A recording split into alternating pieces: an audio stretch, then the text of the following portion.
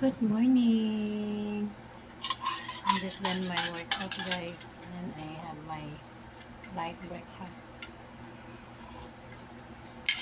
Time now is 6 o'clock in the morning and I make some toast with coffee. Thank you Lord.